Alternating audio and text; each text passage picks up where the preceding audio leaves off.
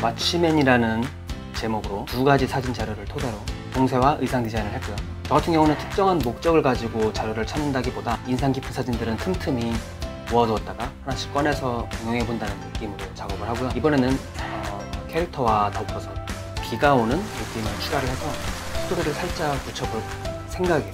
계획대로 잘 될지는 끝까지 지켜봐 주시길 바랄게요.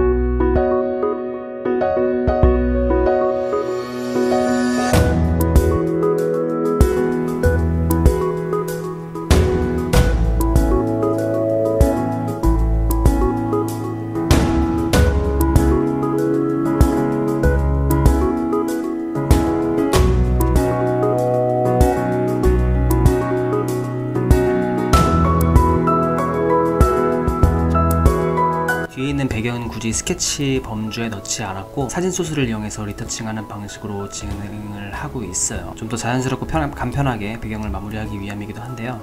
대신 어느 정도 활용 범위 안에서 필터와 병행해 가면서 빛 처리나 명암 부분 등을 캐릭터와 좀 잘 어울리게 바꿔주는 과정이 필요하고요.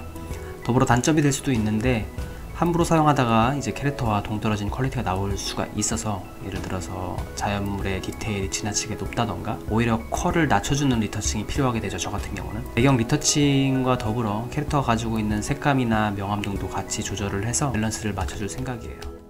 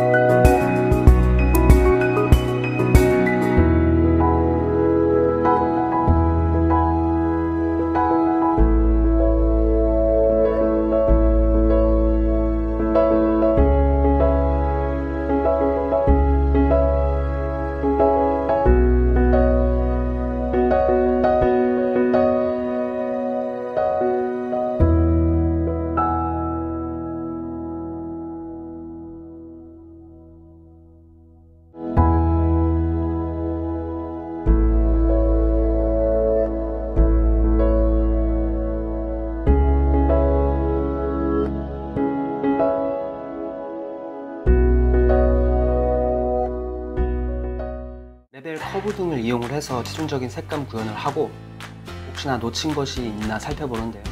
사실 놓친 건 어쩔 수 없어요.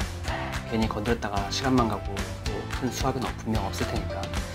늘 그렇지만 처음 구상했던 것과 같은 선상에서 꾸준한 quality를 내는 거는 어, 참 힘든 것 같아요. 무엇보다 중요한 건 어, 재밌게 작업했는가인 것 같아요. 제 생각은 그럼 다음 작업으로 곧 다시 돌아오도록 하겠습니다.